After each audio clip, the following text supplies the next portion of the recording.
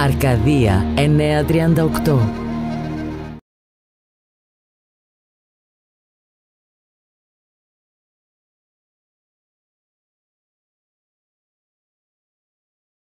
Καλώς ήρθατε στα εγγένεια της έκθεσης ζωγραφικής του Δημήτρη Καλαγάνη, πρόσωπον, βλέμμα, έρος, μύθος, η οποία γίνεται στα πλαίσια του εορτασμού της 197η επαιτίου της Άλωση της Τριπολιτσάς.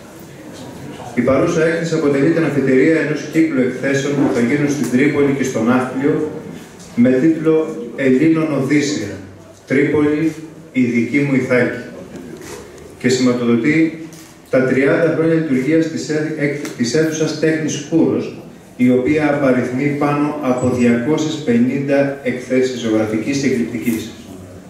Είναι επομένως προφανές ότι η αίθουσα τέχνης Κούρος έχει συμβάλει τα μέγιστα στην πολιτιστική ανάταση του τόπου μας και ο Τάκης Κούρος όλα αυτά τα χρόνια είχε επωμιστεί το, το ρόλο του πολιτιστικού θεματοφύλακα. Καλώς ορίσατε. Σας ευχαριστώ πάρα πολύ για την πρόσκληση κύριε Ταλαγάνη, κύριε Κούρο, Είμαστε σε μια αίθουσα ιστορική που γράφει 30 πλέον χρόνια εδώ.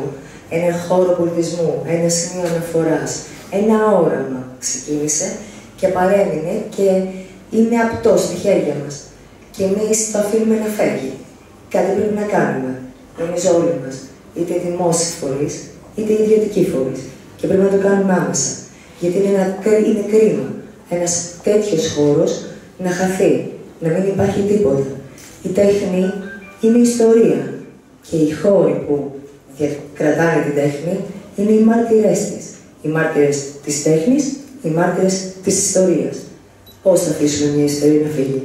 Αυτό που αναγνωρίζω και που με τιμά τη φιλία του τα τελευταία χρόνια είναι ότι δεν έπλεξε ποτέ σε ουτοπικές ιδεολογίες. Πάντα έγινε με τα έργα του και με το λόγο του λύσεις κατευθύνσεις, διευκολύνσεις. Είτε τις αναγνωρίζαμε, είτε όχι. Πιστεύω ότι ήρθε καιρός να αναγνωρίζουμε πράγματα πίσω από απλές λέξεις ή από μεταφράσεις που θέλουμε να κάνουμε οι ίδιοι. Κύριε Δαλαγάνη, σας ευχαριστώ για τη φιλία σας, σας σέβομαι για την ακυριότητά σας και σας ζηλεύω για τις ζωντάνιες σας. Αυτό που πρέπει να κάνουμε όλοι και όσον αφορά τη δική μου δυνατότητα και παρέμβαση θα γίνει είναι αυτός ο χώρος να συνεχίσει να λειτουργεί, ώστε να προσφέρει, να συνεχίσει να προσφέρει πρώτα απ' όλα σε αυτόν τον τόπο. Συγχαρητήρια για την έκθεση και αισιοδοξία. Τώρα αυτή η έκθεση είναι ένα μικρό προήμιο για δύο μεγάλες εκθέσεις που θα συνεχίσουν βέβαια και πέρα ε, με μεγάλα έργα που δεν χωράνε σε αυτό το χώρο. Η μία έκθεση θα γίνει στον Άφριο και η άλλη έκθεση θα γίνει εδώ στο Πνευματικό Κέντρο τον Νοέμβριο και τον Δεκέμβριο.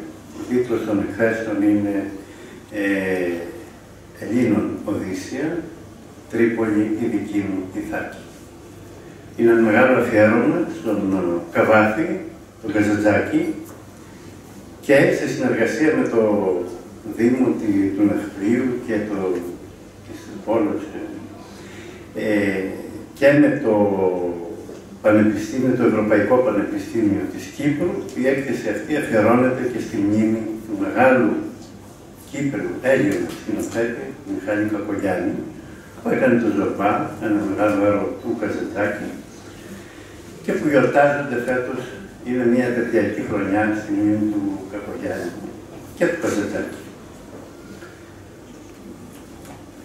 Ήθελα αυτό το, αυτή η μικρή φθινοπορική έκθεση είναι ένα αφιέρωμα στα 30 χρόνια και πλέον της ε, πορείας ενός κοιτάρου πολιτιστικού αυτής της πόλης, που πράγματι στην ε, πραγματικότητα την ελληνική των τελευταίων 30 χρόνων αποτελεί ένα, ε, μια ξεχωριστή περίπτωση ανάμεσα δηλαδή στις γαλαρίες και τις αίθουσες τέχνης ε, ανά την Ελλάδα, η αίθουσα τέχνη της Τρίπολης είναι ένα πολύ σπουδαίο πολιτιστικό κύτταρο.